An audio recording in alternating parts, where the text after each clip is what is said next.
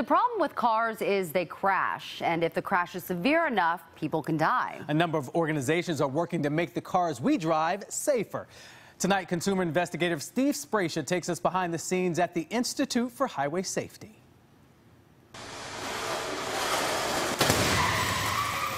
That crash, it took just an instant, but staging it took days of preparation. Preparation that's as complicated and sophisticated as a rocket launch.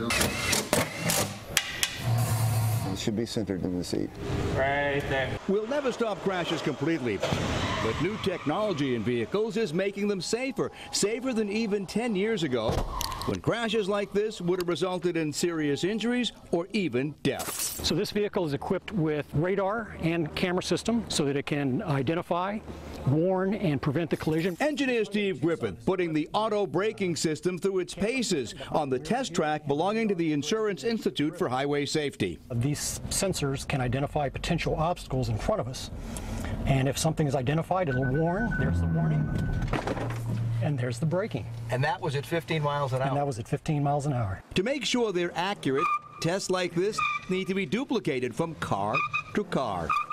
To keep their active safety tests as controlled as possible, they built this giant dome. That allows them to repeat the tests over and over again, no matter what the outside conditions are.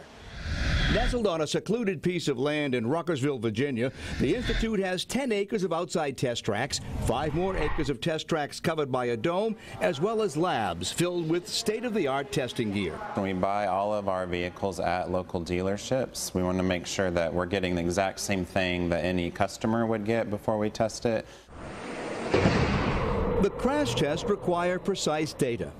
It's designed to be loaded from the front so all these ribs can deform backwards. And the crash test dummies are specifically designed for different types of crashes that you could experience which might kill or seriously injure you. Uh, one, two, one. Want to do it again? Yeah.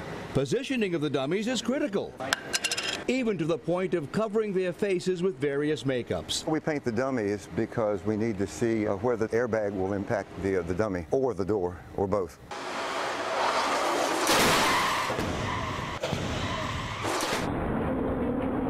The data obtained by the dummies is used by automakers to make vehicles safer.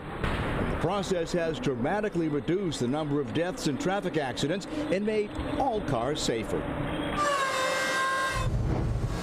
What do you think, in your estimation, is the best improvement the Institute has been able to, to force automakers to do? Well, in this particular test, the side impact test, we've, we've forced them to do two things. One is to beef up the, the B-pillar and the sills, and to a certain extent, the what we call the roof rails. The safety cell now? Safety definitely sells now. You can't hope to have a vehicle that you bring to the U.S. market that's unsafe. And as cars get more sophisticated, so do the crash tests.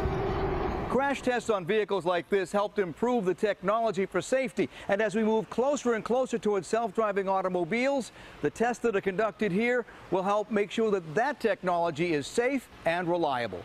For the CBS 17 investigators, I'm Steve Sbraccia.